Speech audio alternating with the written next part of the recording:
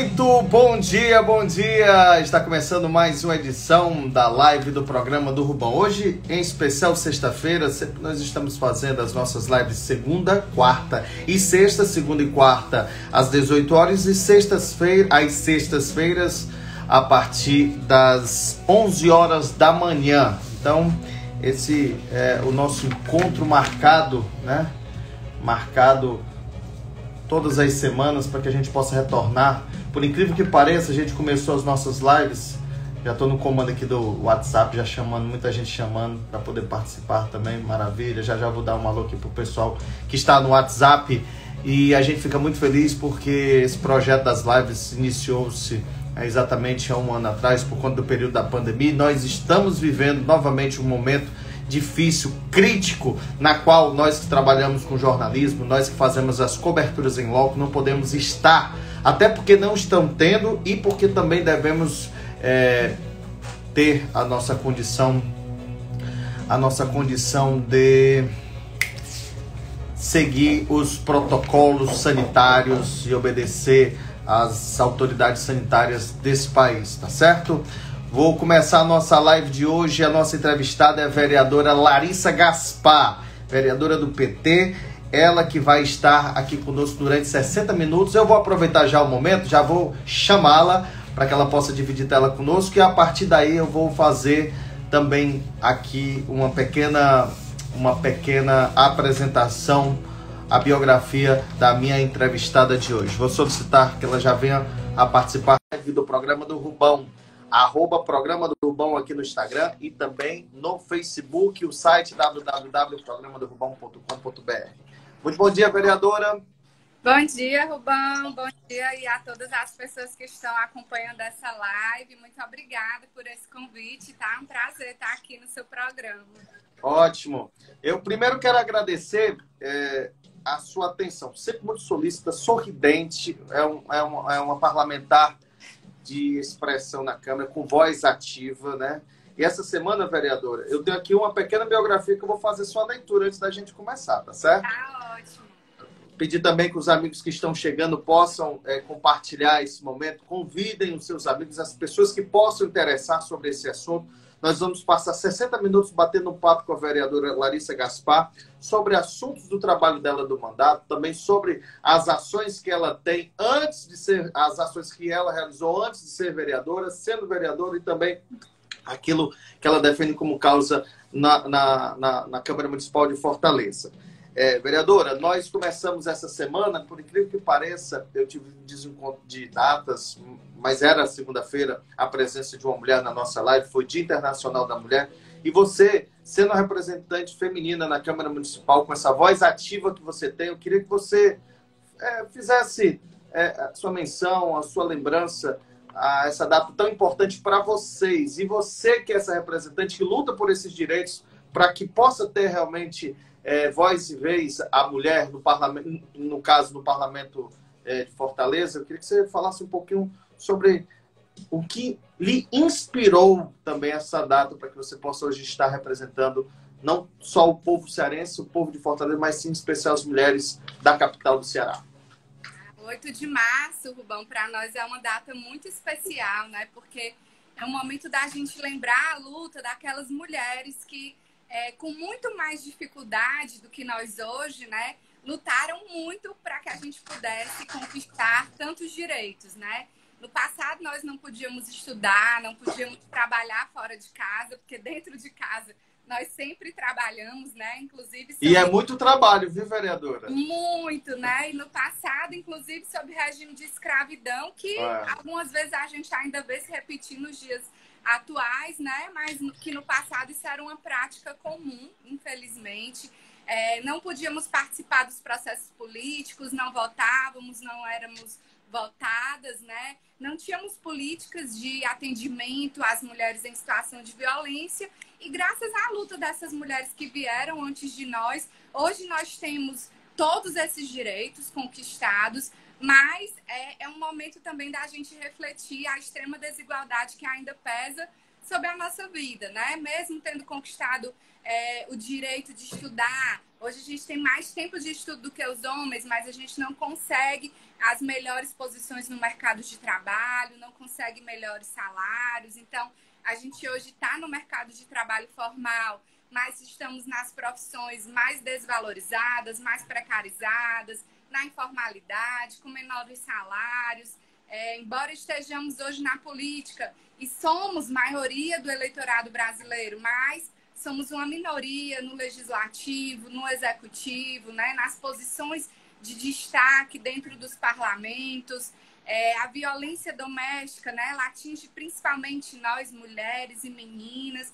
Então, assim, conquistamos muito, é preciso reconhecer, mas também a gente tem que ter clareza das inúmeras dificuldades que ainda temos por enfrentar. E o 8 de março é um momento para isso. Nesse ano, nós, mulheres de todo o Brasil, nos organizamos numa grande campanha por vacina para toda a população, auxílio emergencial e fora Bolsonaro, compreendendo que esse desgoverno federal não tem a menor competência para lidar com a pandemia, tanto é que nós já temos mais de 270 mil mortos e estamos caminhando no processo de vacinação a passos de tartaruga. Então, a mulherada de todo o Brasil se uniu né, na luta em defesa desses três motes, né? Vacina para toda a população, auxílio emergencial para que as pessoas possam se proteger do vírus e não morrer de fome e fora Bolsonaro. Certo, vereadora. É, quis que você dissesse esse, fizesse esse discurso até para poder simbolizar e homenagear todas as mulheres, mas eu deveria ter começado dessa forma. Larissa Gaspar é advogada, servidora pública municipal concursada da AGFINS. Militante feminista dos direitos humanos, foi coordenadora da Casa Abrigo Margarida Alves de Fortaleza, que acolhe mulheres vítimas de violência imune e, e, e, iminentes perdão, ao risco de morte. Foi coordenadora de políticas públicas para as mulheres de Fortaleza, foi assessora especial da Secretaria de Cidadania e Direitos Humanos de Fortaleza, foi no movimento estudantil, fez parte do Centro Acadêmico de Direito e do Diretório é, Central dos Estudantes da Unifor, foi candidata a deputada estadual em 2014, 2016 foi eleita com 4.445 votos, em 2020 foi reeleita com 8.555 votos. Preside hoje a Comissão de Defesa dos Direitos Humanos da Mulher, da Juventude, da Criança e do Idoso da Câmara Municipal de Fortaleza e as frentes parlamentares da defesa das pessoas de situações de rua e população LGBT. Essa é a nossa entrevistada de hoje. Larissa, esse movimento político nasceu ele germinou em você já na universidade ou antes, já, já antes da universidade, já como adolescente, já tinha esse interesse pela luta dos direitos humanos, como você tem essa plataforma, eh, essa, essa plataforma de trabalho incorporada dentro de você? Na verdade, nasceu um pouco antes de eu entrar na universidade, né? Quando eu entrei na capoeira, bom, que eu também sou capoeirista, embora. Ah, faltou botar tenha... aqui, capoeirista. É, não tenha mais tempo de treinar como eu gostaria, mas é, quando eu entrei na capoeira, ah. Tinha 16 anos, né? Faz bastante tempo, 21 anos, faz 21 anos, e é, eu comecei a andar muito nas periferias de Fortaleza, da Draga no Riacho Doce, né? E essa situação de desigualdade, de extrema pobreza, né, que viviam os adolescentes, os jovens, começou a me incomodar bastante, né? Não só a mim, mas as pessoas que faziam parte do, do, do meu grupo e o nosso mestre, que é o mestre Robério, muito conhecido também como mestre Rato, é, começou a se mobilizar no sentido de realizar ações sociais, né, ações de assistência, ações culturais, educacionais, então, é, o meu envolvimento né, com a luta pelo fim da desigualdade, ele inicia com a capoeira. E aí, quando eu entro na universidade, isso se fortalece né, na luta dentro do movimento estudantil. Aí eu começo também uma militância partidária é, no PT e nos movimentos de mulheres e no trabalho de educação popular em direitos humanos. E aí a gente foi se encontrando com as diversas pautas que hoje a gente trabalha, né? Com o meio ambiente, com a moradia, com a cultura, enfim. Bem, é, é, é, como você descreveu mesmo agora na sua resposta, é necessário você vivenciar para que você possa aflorar, que você possa entender, para que você possa buscar, ou pelo menos ter a atitude de buscar é, dias melhores para a população. Tem que vivenciar, tem que estar ali próximo para poder ver a real situação, né? Eu, assim, eu diria que não tem que vivenciar para você se solidarizar e para você se mobilizar para contribuir, né, para melhorar a vida dessas pessoas. Mas é claro que você estando ali perto, né, vendo olho no olho, sentindo, né, tocando na mão daquelas pessoas, com certeza você se mobiliza muito mais, né? Porque é mais fácil a gente é, a gente se movimentar em cima daquilo que é, está ali, a realidade nua e crua na sua cara. Mas é, também tem, tem pessoas que de ouvir falar, né, de saber que acontece, já se sentem chamadas e mobilizadas, e, e isso também é importante. Mas é, com certeza a experiência real, concreta, né, ela te dá muito mais elementos para que você possa se engajar nessa luta. Vereadora, nós temos várias pautas. O ano começou, estamos no terceiro mês do ano. A Câmara Municipal já foi palco esse ano, já de vários e vários é, bons debates ou debates acalorados, né? Iniciando. O seu partido, o PT, é, deu apoio ao prefeito Sarto no segundo turno, mas está numa oposição na qual eu entendo da seguinte forma: vocês estão em oposição, mas que projetos que são bons para a cidade, que tenham um, um, um cunho especial para a cidade, vocês vão ter um olhar diferenciado em relação a isso. Digamos que é um, uma oposição com observações, critérios para que possa ter uma conduta dentro da cidade. Mas é inevitável não falar sobre é, é, esses últimos acontecimentos da Câmara Municipal. E aí você fez frente, você esteve próximo. Eu queria que você falasse sobre essa votação, sobre a questão da previdência dos servidores da, da, da cidade de Fortaleza. Certo. É como você bem contextualizou, né, Rubão? Nós não somos o Partido dos Trabalhadores, uma oposição por oposição, né? Que tudo que chegar na Câmara, que for apresentado por um vereador da base ou que venha de iniciativa do governo, a gente vai estar se colocando contra só partindo dessa premissa de estar no campo da oposição, de forma alguma. Nós somos uma oposição extremamente responsável, uma oposição à esquerda, né? Importante que fique bem claro. Oposição à esquerda que tem compromisso com a democracia, com justiça social, com o enfrentamento às desigualdades. Então, com certeza, é, matérias que venham do executivo ou de colegas vereadores que sejam da base do governo e que nós consideramos que são boas para o povo de Fortaleza, certamente nós estaremos votando favorável, né? e, de outro modo, matérias que venham, que a gente considere que são prejudiciais para a cidade, para o nosso povo, nós estaremos nos posicionando contrários, né? Como aconteceu e está acontecendo, né? Ainda porque ainda está tramitando claro. é, esse projeto de reforma da Previdência, né? Eu, como servidora municipal, tenho muita clareza dos prejuízos dessa proposta de reforma, né? Que vai além da proposta do governo federal, né? Da emenda Constitucional é, 103 de 2019. Então, assim, ela retira muitos direitos que nem tem essa previsão na reforma federal, né? E que nós já nos manifestamos contra essa federal. Então, não tem como a gente realmente apoiar uma iniciativa que vai prejudicar muito a vida dos servidores municipais, né? Que não tem justificativa, é, não foi apresentado dados, né? Dados não foram apresentados com clareza, né? Que falem é, das dificuldades financeiras, atuariais do sistema de previdência do município. Então, assim, para você tratar uma pauta como essa, você precisa trazer fundamentos é, muito aprofundados, né? Que demonstrem com clareza a necessidade da reforma e você tem que saber é, conduzir essa, essas alterações de modo que você traga o mínimo é, de fissuras, né, de prejuízos para o servidor, porque são esses sujeitos que fazem o serviço público andar, né, que faz com que os serviços do município cheguem à população que mais precisa. Então, não é justo penalizar o servidor dessa forma como está sendo colocado na reforma do município de Fortaleza.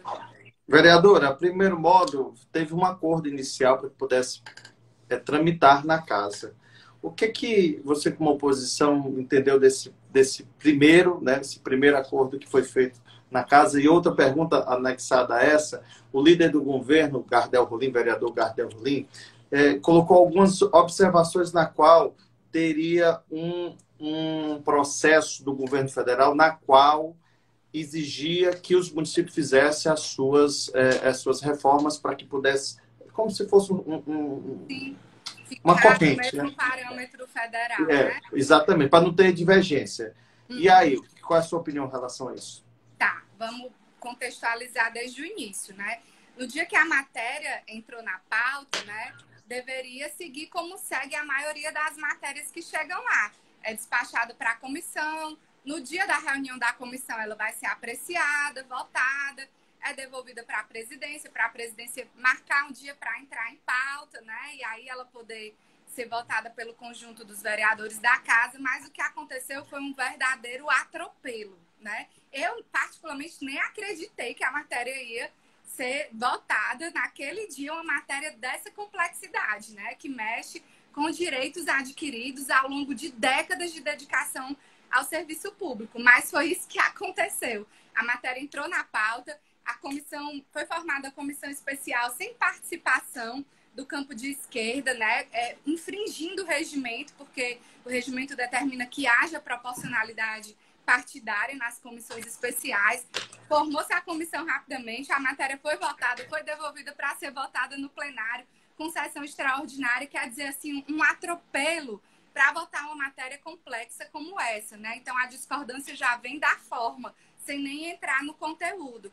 E aí a segunda discordância vem justamente do conteúdo, porque como eu falei, essa, essa proposta do município de Fortaleza, ela está indo além da reforma da Previdência Federal, né? Além da, da emenda constitucional é, 103 de 2019. Ela mexe em direitos que a, a reforma nacional não mexe. Por exemplo, licença prêmio, anuênio, né? Isso não tem previsão lá na reforma do governo federal e está sendo trazido aqui no município a licença especial, que é quando você já tem o tempo de aposentadoria, você solicita, e se isso não é analisado dentro de 60 dias, que é um tempo razoável para análise, você tem o direito de se afastar né, do serviço. Então, uma série de direitos que estão sendo rasgados, retirados e que não está previsto na reforma da Previdência Nacional. Então, por que o município de Fortaleza está indo além e sendo tão duro com os servidores, sem debate, sem que tenha tido uma audiência pública sobre isso?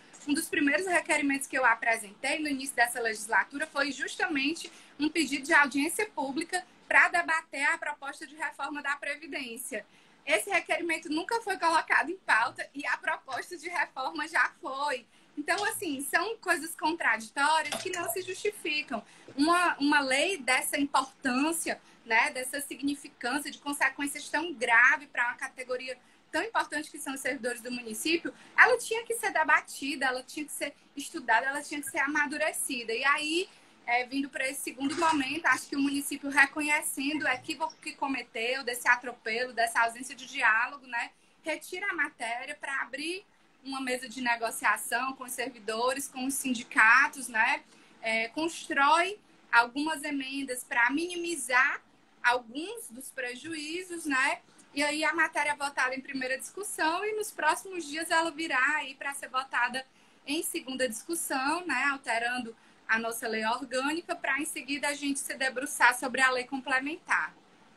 Vereadora, nesse período nós estamos em eminente. É, Fortaleza está em lockdown, né? É, regimento é, mais rígido, perdão, a questão mais rígida da questão da circulação das pessoas na cidade. E a Câmara Municipal também está com um circuito diferenciado, está com sessões online, se eu não me engano, totalmente online, nada presencial, para que possa realmente é, manter os protocolos de, de, Você acha que nesse sentido a, a, o diálogo vai estar ou vão aguardar um pouco mais para a questão de amenizar o problema da pandemia, da doença do Covid, que eu acho que é o foco desse momento, que são, seriam as, serão as próximas perguntas para você, vereadora. É, assim, eu não, não tenho como dizer, né, como é que a mesa diretora vai é, definir... Proceder. É, definir com relação ao andamento dessas matérias, porque é, pelas nossas resoluções, né, que foram aprovadas recentemente, é, uma delas diz que quando houver matérias que exijam quórum qualificado, que é o caso, né, desse projeto de alteração da lei orgânica do município, a votação ela tem que ser presencial, né? Ela tem que ocorrer no ambiente da Câmara. Pode ser híbrida, com alguns vereadores no plenário e outros nos seus gabinetes, mas ela tem que acontecer com a presença dos vereadores da, na casa, né? Ela não pode ser remota. Ela pode ser presencial e virtual, mas no ambiente da Câmara. E agora, com a, a, o, o, o, fortalecimento das medidas de isolamento social, a gente não está tendo sessão híbrida presencial na Câmara, tá tudo remoto, né? Então, é, nesse caso, pela resolução, não poderia ser votada essa matéria é, de modo remoto. Então, eu acredito é, que a mesa diretora deva se reunir no decorrer da próxima semana para analisar justamente como é que, que vai se proceder com relação a essa matéria.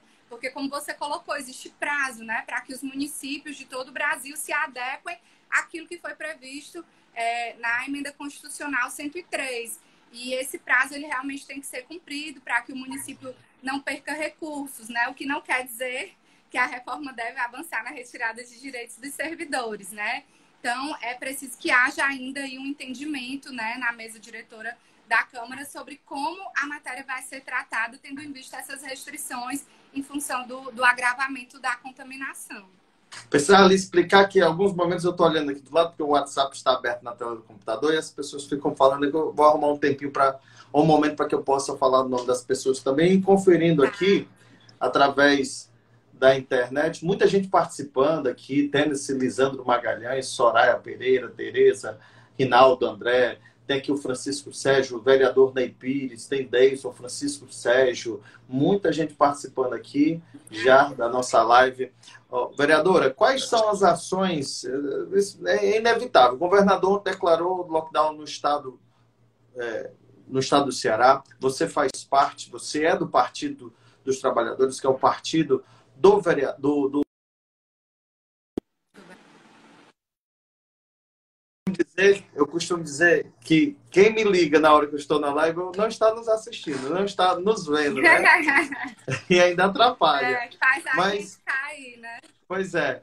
O Gomes Farias diz o seguinte: eu não posso falar ao telefone e ao microfone ao mesmo tempo. Então a gente optar aqui pela essa questão. Mas, como eu vinha dizendo, é, no seu entendimento, no seu entendimento, as medidas que o governador Camilo Santana está implementando colocando, ampliando aqui no estado do Ceará e a nível nacional também com a frente dos governadores do Nordeste, na busca da, da, da compra independente dos estados e municípios. Você é de acordo com as ações eh, executadas pelo governador Camilo Santana?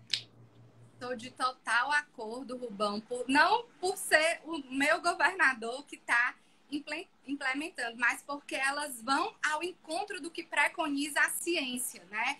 Assim, há tempos, os maiores cientistas brasileiros, eles alertam para a necessidade de um isolamento social mais rígido por conta da possibilidade de colapso dos nossos sistemas de saúde, né? E, infelizmente, essa realidade chegou, né? Chegou, nós temos aí é, 25 capitais brasileiras com ocupação de mais de 80% dos leitos de UTI.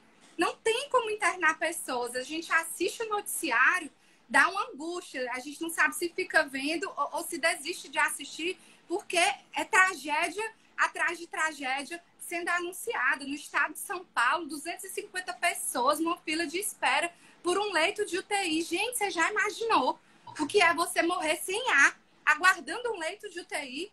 Então não tem outra solução, tem que fazer o isolamento social, é difícil, porque compromete a renda das pessoas, principalmente aqueles que são trabalhadores autônomos, que estão na informalidade, mas é necessário para a gente evitar que haja a extinção da população brasileira, porque nós já temos mais de 270 mil mortos. Né? Os índices de morte diária do Brasil hoje ocupam o primeiro ranking mundial, é o país com o maior número de mortes diárias por dia, né? Nós tivemos aí 2.386 mortes, depois 2.233 mortes, quer dizer, um índice que é assustador. E os leitos de UTI com a sua taxa de ocupação com mais de 80%, inclusive cidades com 100% de ocupação, ou seja, se alguém adoecer e agravar, não tem como internar. Então, a solução é ficar em casa, é se proteger, é sair só para o essencial, é usar máscara. E o governador está acertadíssimo nisso, né? O grande cientista Nicoleles alertou há bastante tempo. A Natália Pasternak também está diariamente aí fazendo esse alerta de que ou se tem um lockdown nacional, né? Ou a gente, ou como perguntou é, um dos ministros do próprio Bolsonaro, estamos preparados para ver os caminhões do Exército transportando milhares de corpos diariamente? Então, assim, é, é, vai ser a, o colapso do sistema de saúde, o colapso do sistema funerário, que também não estava preparado para uma situação como essa. Então, assim, é, é, algo muito assustador, sabe, Rubão? Tem pessoas que insistem em negar a ciência, né? Que insistem em ficar prescrevendo medicamento que não tem é, efetividade alguma para combater o coronavírus e que tem efeitos colaterais gravíssimos que podem levar até a morte.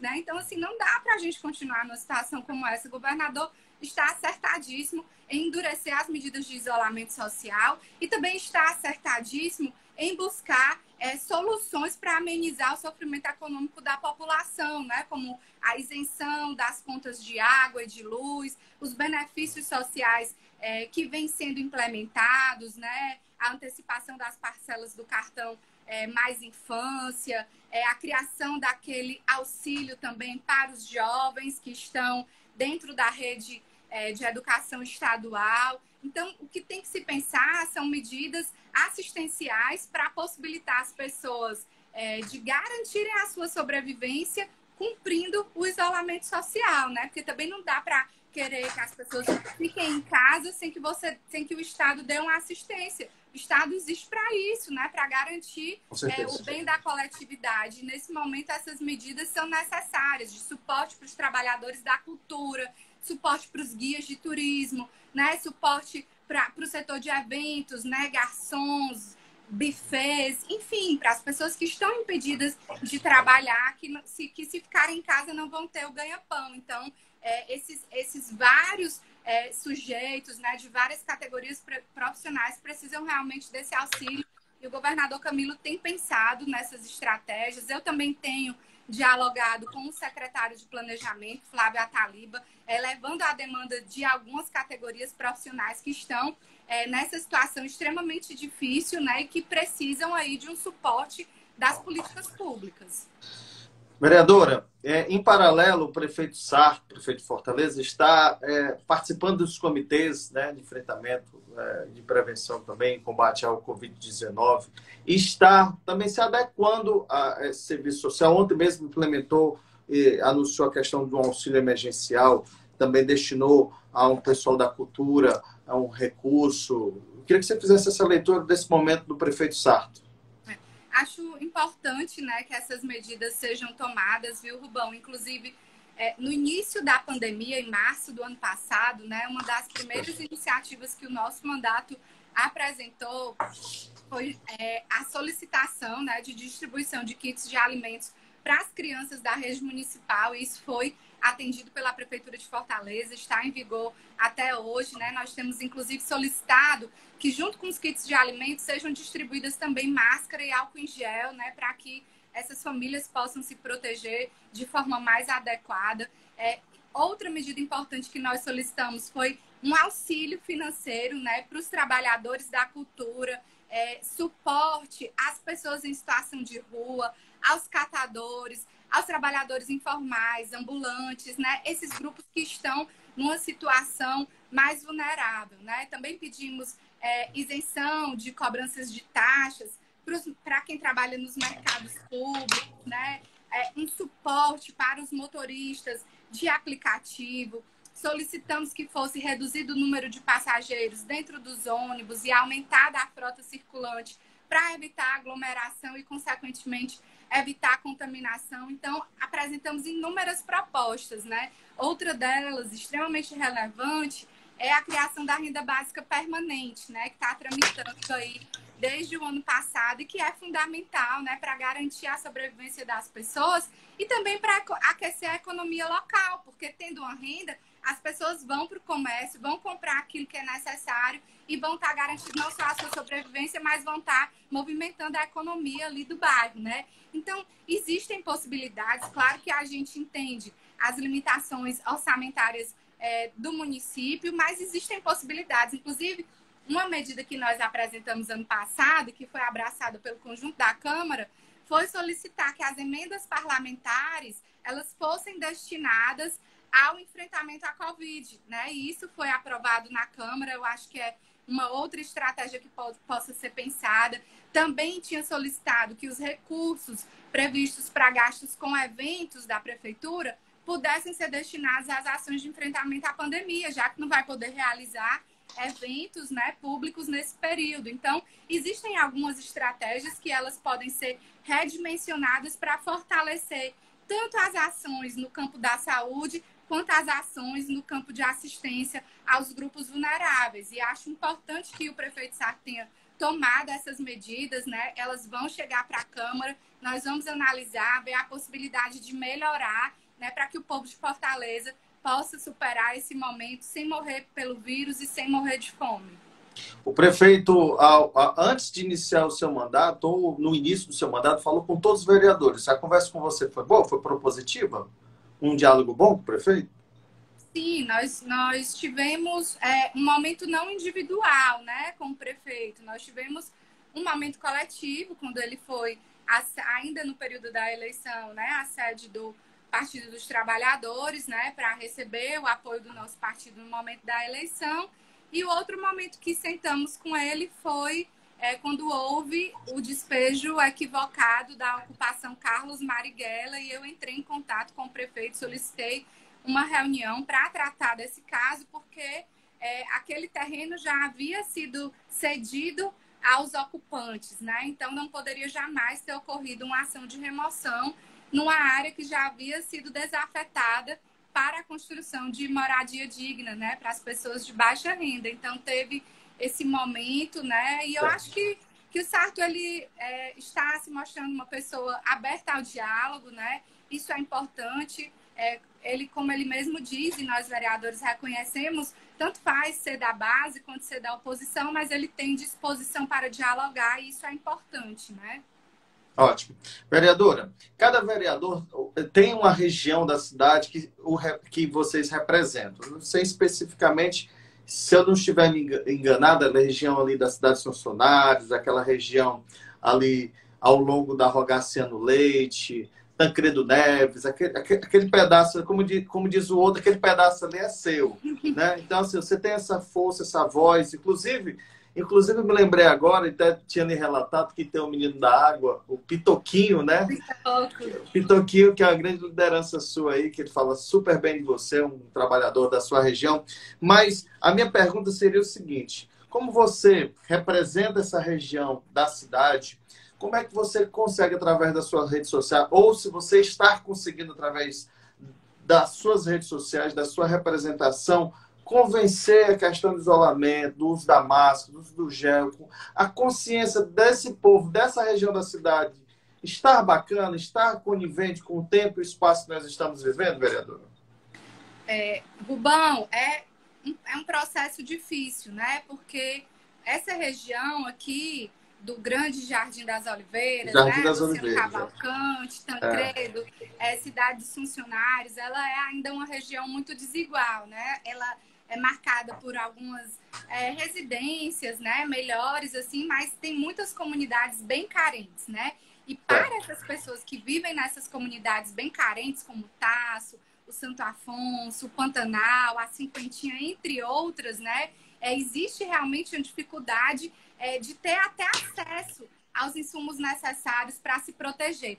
Por isso que eu tinha apresentado no ano passado também é, uma sugestão para a criação do plano emergencial de enfrentamento ao coronavírus nas periferias. Certo. Que é que esse plano trazia, né? É, a distribuição de insumos, cesta básica, máscara, álcool em gel, água sanitária, sabão, né? Para que as pessoas possam fazer os processos de higiene necessários, né? E também a garantia é, do acesso à água, né? Que a água da população não seja cortada num momento como esse, porque é fundamental, né, para garantir a higienização. Então, ações como essa são necessárias, né? Porque a vida dessas pessoas já é muito difícil. E aí, você falar é, em não fazer aglomeração para uma pessoa que mora numa casa de um cômodo só, que não tem nem banheiro, que tem oito filhos, ela e o marido, já são dez pessoas.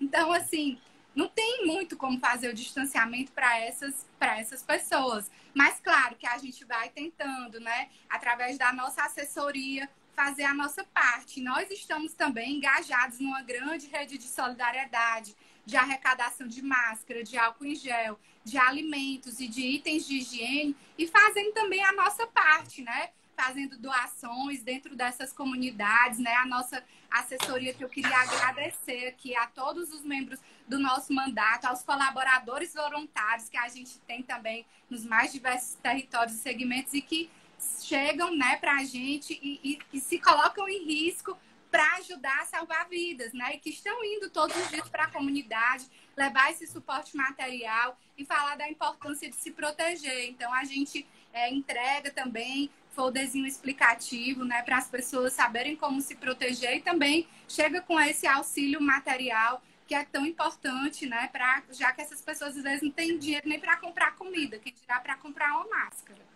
A Licinha está perguntando aqui, é, penso muito nos casos dos catadores de reciclagem. Esses entraram no, no, processo ontem também desse auxílio emergencial é, da prefeitura. Queria que você falasse um pouco sobre. É, é, na verdade, eu ia até mudar a pauta, porque eu fiz a leitura, mas complementando a pergunta dela, que, é que você, na questão dos é, recicladores super também. importante. Inclusive, Rubão, no ano passado, quando a prefeitura apresentou aquela proposta do programa de auxílio à subsistência, né, que era dar aquela renda de 100 reais para alguns grupos, né, que eu lembro que tinha lá ambulantes, é, microempreendedores, pequenos empresários, e eu apresentei uma emenda que foi aprovada justamente para inserir os catadores né, na, nesse auxílio, nesse programa de auxílio à subsistência. Então, é muito importante que a gente olhe né, para essa categoria que passa por muitas situações de vulnerabilidade, trabalham sem API, né, sem luvas, é, sem, sem uma vestimenta padronizada, né, carregando um peso que é muitas vezes sobre-humano, né, e que está prestando um serviço para a natureza e para nós, né, porque está evitando ali que aqueles resíduos se acumulem nos aterros, está fazendo o processo de transformação daquele material, garantindo a sustentabilidade humana, né? Inclusive. Então, é importante que a gente olhe para essa categoria e a gente tem pensado bastante né, sobre a situação dos catadores, a gente se articula com esse segmento, né? Estamos também tentando levar esse suporte material para eles e com certeza quando a matéria chegar, é, nós vamos analisar cuidadosamente para ver se os catadores estão inseridos de forma adequada, porque no auxílio da gestão passada, eles ficaram é, para receber só a cesta básica, não receberam 100 reais. E é importante que eles recebam o auxílio financeiro e o insumo da cesta básica. Certo. Vereadora, eu vou dar um giro de 360 graus aqui e, e fazer a seguinte pergunta. Você, em 2014, você foi candidata a deputado estadual. Quantos votos? 11.077. 7 mil aqui e os 4 mil no interior. Imagina, né? E em 2016 você foi eleita pelo PPL, 4.445 votos. Foi reeleita em 2020 com 8.555. Por que estava no PPL? Por que retornou ao PT? E o que é que você coloca como essa grande crescente do número de... Você é uma das poucas vereador ou dos vereadores que estão lá que teve um, uma considera, um número considerável, aumento considerável do seu número de votação. Foi sim, graças a Deus e ao povo de Fortaleza. Muito obrigada. É, então, o PPL, né, ele vem do MR8, que foi aquele movimento de resistência da juventude contra a ditadura, né? E nós tínhamos um diálogo é, com o companheiro André Ramos, né, que dirigia o PPL, que é um cara jovem, progressista, foi até candidato a prefeito de Fortaleza, e nesse Sim. diálogo ele abriu espaço para que a gente é, disputasse a eleição pelo PPL e nós fomos para Mas nesse, nesse, nesse, processo você já era afiliado ao PT? Eu me filiei, eu me, o primeiro partido que eu me filiei foi o PT, né? Em 2002. E aí, quando foi por volta de 2005, né? É, houve toda uma discussão dentro do partido sobre os rumos né, da gestão. E aí um grupo é, considerou importante contribuir para a construção do PSOL. E eu ajudei nessa construção e estive lá também, né? E depois me afastei e me aproximei de companheiros e companheiras do PSB, né? Estive lá.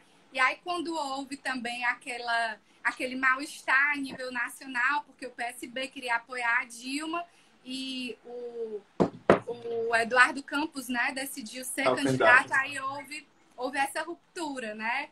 Então, daí foi que eu saí e fui disputar a eleição pelo PPL um bom tempo depois, né, em 2016. É. E eu fui eleita por um voto, viu, Rubão, nessa eleição de 2016 aí. Por um voto? Simplesmente teve 4.444 votos. Olha, tá vendo como um voto faz a diferença? Com certeza. Se tivesse empatado, ele que assumia porque ele é mais velho, né? É o critério que está no nosso regimento. Então, tá. foi por um voto. E aí a gente fez um grande trabalho né, na Câmara Municipal de Fortaleza. O PPL era da base do prefeito Roberto Cláudio. É, e, e eu me guio muito pela justiça, né? Então, o que, sendo da base também, o que vinha de bom eu votava favorável, mas o que eu considerava prejudicial ao povo, eu também me manifestava contrário, né? Isso foi é. criando um grande mal-estar na base, né? E para o partido. E aí acabou que em 2018 o PPL não fez cláusulas de barreira. E aí se, se fundiu, se incorporou ao PCdoB. E aí nesse processo é. eu optei por retornar ao PT, né? Que foi o partido onde eu iniciei minha militância política. Os desafios, os desafios seriam maiores, você sabe disso, né? Na questão da votação, do, do número de votos, que tanto que você conseguiu, mas você sabia que o desafio seria maior. Sim, enorme, até porque não tinha mais coligação, né?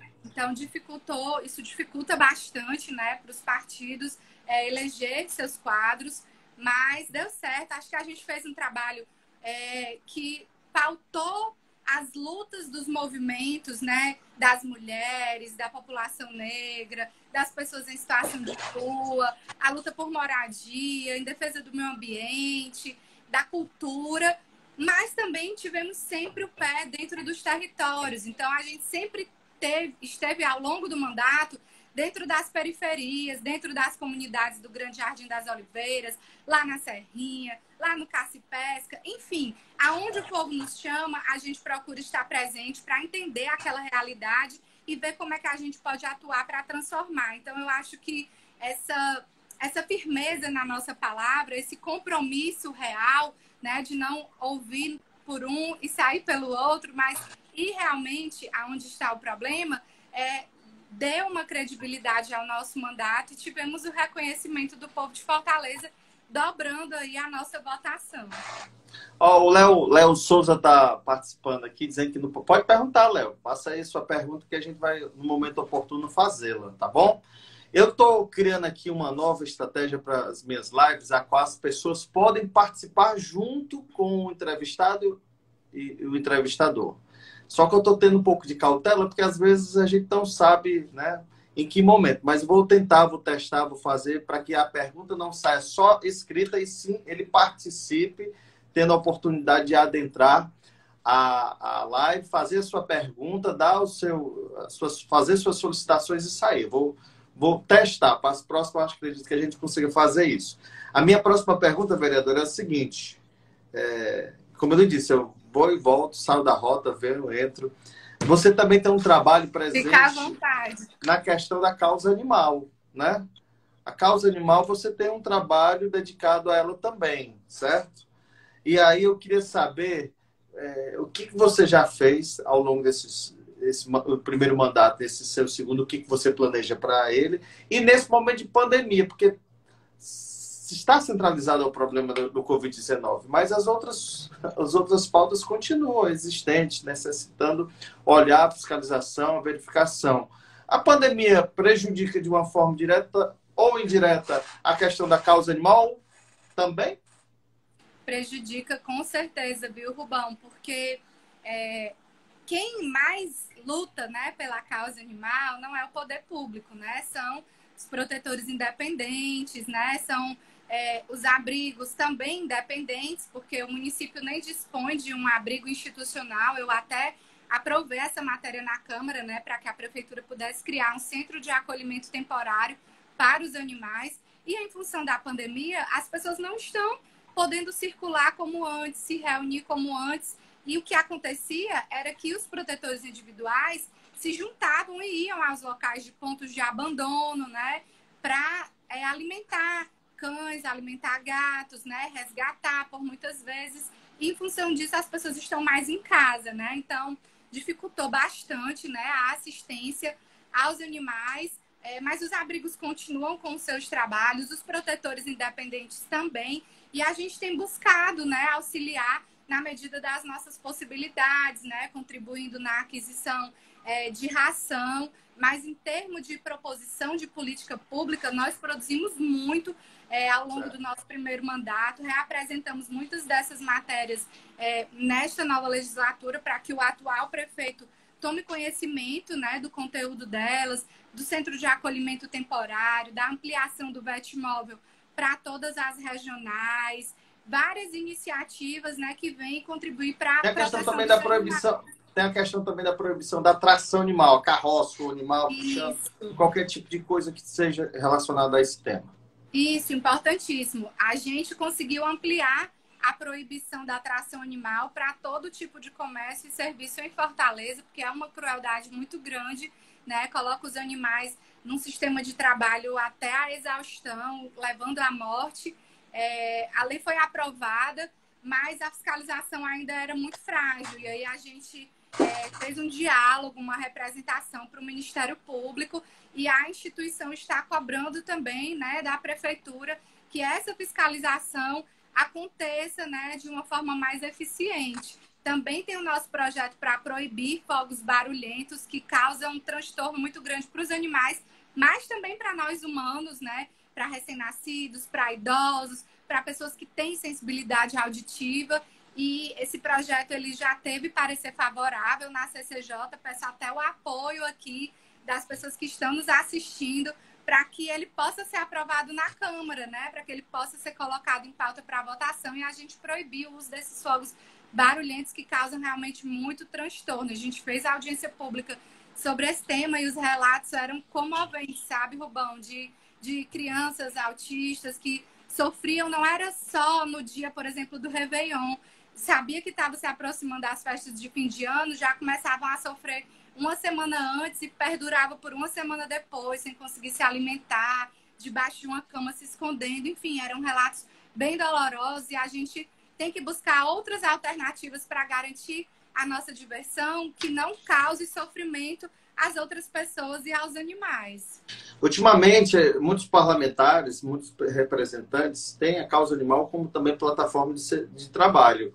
Você entende que não existe um, um pé de competição, mas sim de colaboração para essa causa? E, e, quanto mais, como diz o ditado quanto mais melhor? Eu acho que quanto mais pessoas debatendo sobre isso, né, mais ideias vão surgindo.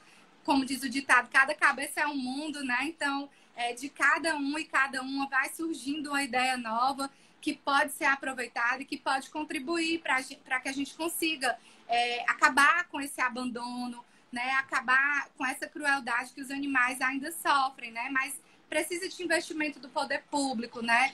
Tanto na criação desses centros de acolhimento temporário, quanto no investimento nas castrações, né, para evitar essa reprodução acelerada, quanto na fiscalização, né? Autuar as pessoas que estão abandonando e a prefeitura tem os pontos de abandono mapeado. Então, é preciso fortalecer a fiscalização, sobretudo nesses espaços, né? Para autuar o sujeito ali em flagrante, né? Na hora que ele vai abandonar, epa, não pode, isso é crime, enfim.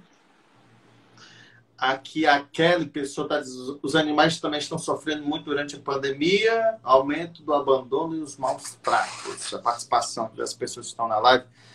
Vereadora, você é do Partido dos Trabalhadores e a causa é nobre dos trabalhadores, mas você é, eu acho, acredito, depois dos últimos anos e das últimas ações, e uma classe aqui em Fortaleza especial, você acha que é a vereadora mais querida, que é a dos cobradores de ônibus de Fortaleza.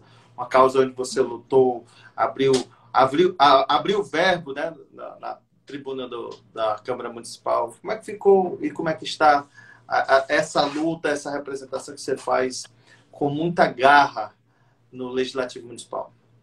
É uma luta que continua, né, Rubão? Porque esse processo de demissão dos cobradores, como eu sempre denunciei, ele é totalmente ilegal. Nós temos uma legislação que regulamenta o transporte coletivo em Fortaleza e nessa legislação os cobradores e os motoristas, eles estão lá presentes como trabalhadores do sistema.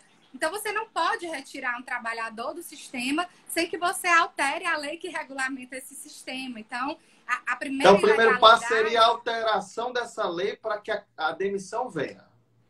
Exatamente, para que ela se tornasse legal, né? Agora tem várias outras ilegalidades aí, porque você está ferindo o direito do consumidor. A demissão dos cobradores se deu com a imposição de você só pagar a passagem com cartão. Isso é absurdo. Você não pode se recusar a receber a moeda em curso.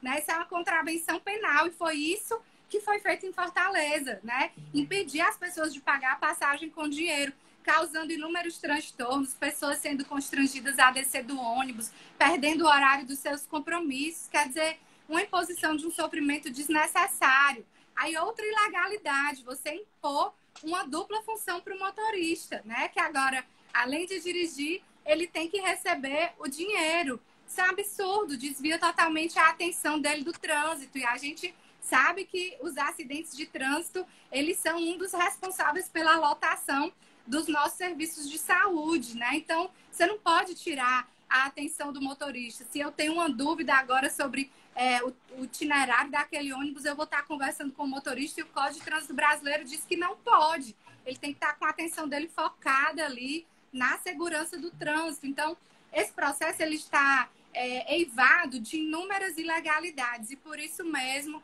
eu entrei com uma ação popular no Poder Judiciário né, para que seja reconhecida essa ilegalidade, para que esses profissionais possam retomar os seus postos de trabalho. Perfeito. Mas, mas em relação à categoria, você tem uma comunicação ativa com eles? Eles já identificaram você como a, a representante da, da classe do movimento? Temos, temos um bom diálogo com os trabalhadores é, do transporte rodoviário, né? Eles têm um sindicato, que é o Sintro, é, e a gente tem diálogo com eles. Inclusive, agora na pandemia, fizemos uma plenária né, sobre transporte público participaram motoristas, cobradores, diretores do sindicato, né, para a gente debater os problemas, né, do transporte público em Fortaleza. E o mais citado, claro, foi a aglomeração, o adoecimento desses profissionais, mortes, né, desses profissionais por coronavírus, sem que medidas eficientes sejam tomadas para impedir essa lotação nos ônibus e nos terminais. Vereadora, é inevitável não falar sobre é, é, o ex-presidente Lula, qual é, teve todo um processo essa semana na qual o juiz é, o Supremo, né, tirou todas aquelas acusações, aquelas aquele processo que tinha por conta da pena que o ex, ex-presidente Lula estava respondendo, né? sua opinião em relação a todo esse processo que aconteceu com ele, qual a sua perspectiva com a legalidade do nome de Lula que possa é, concorrer ao próximo pleito eleitoral, qual é a perspectiva e, e, a, as ideias que a vereadora tem ou aguarda e espera contribuir com o partido? É, primeiro dizer né, que a condenação política do presidente Lula, né, foi a maior mentira e a maior injustiça já cometida né, pelas autoridades brasileiras. Né? O mundo todo reconhece essa grande injustiça que foi cometida com o presidente Lula, com o único fim de tirá-lo do jogo eleitoral de 2018. Né? Lula foi preso porque tinha 30% das intenções de voto da sociedade brasileira e quiseram tirá-lo da disputa porque sabiam que ele iria ganhar e que ele iria continuar implementando políticas sociais que estavam dando certo, que tinham tirado o Brasil do mapa da fome, que tinham transformado o Brasil na sexta economia do mundo, que tinham dado oportunidade para o povo preto, para o povo pobre entrar na universidade, fazer intercâmbio, construir a sua trajetória.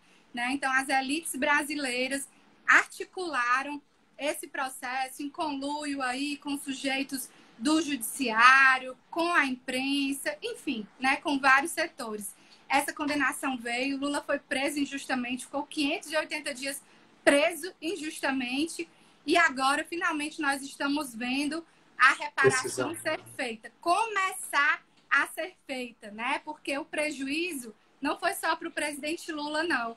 O prejuízo foi para a credibilidade do Poder Judiciário brasileiro, o prejuízo foi para a nossa democracia, que está aí com esse desgoverno irresponsável, que ataca a própria democracia, que exalta o torturador, que, ame... que faz ameaças à democracia, que basta ele dizer um Shazam e as Forças Armadas é, vão entrar para destruir o que nos resta de uma jovem democracia. Então, assim, é um prejuízo enorme para a população brasileira que começa a ser reparado. As condenações foram anuladas. Lula está elegível, resgatou seus direitos políticos, os seus direitos civis. E eu espero que, enfrentando essa pandemia, né, essas mortes que nós estamos vendo todos os dias, é, o Brasil consiga repensar é, um projeto político né, que priorize o seu povo, que priorize o enfrentamento à desigualdade. Nós somos uma das nações mais desiguais do planeta Terra e a gente precisa de um governo que tenha compromisso né, de mudar essa realidade, de melhorar a vida do seu povo. E eu acho que está claro para todo mundo que Bolsonaro não está nem um pouco preocupado com isso. Pelo contrário, ele tem agravado a situação de pobreza do povo brasileiro. Nós saltamos aí da sexta para a décima segunda economia do mundo, está vendendo as nossas riquezas, nos colocando num papel de subserviência internacional. Voltamos para o mapa da fome. O preço dos alimentos está um absurdo, ninguém consegue comprar arroz, feijão, carne, gás de cozinha. Então não dá mais para continuar com um desgoverno desse que não tem a menor preocupação com o seu povo.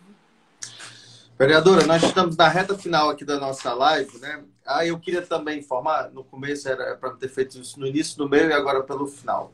Ao término da live, ela vai ficar é, disponível no nosso site e também aqui no Instagram. Então, as pessoas que queiram rever pontos, nós já falamos sobre ações do seu mandato, sobre as ações do Covid que o seu mandato está trabalhando em prol. Falamos sobre o governo do estado, a prefeitura. Estamos falando agora é, mais voltado à questão partidária e às defesas do seu mandato, dos projetos. Então, as pessoas que estão participando vão poder rever todo esse processo, toda essa entrevista, através do nosso site do Rubão, www.programadorubão.com.br e também aqui no Instagram, arroba, Instagram e Facebook, arroba Programa do Rubão.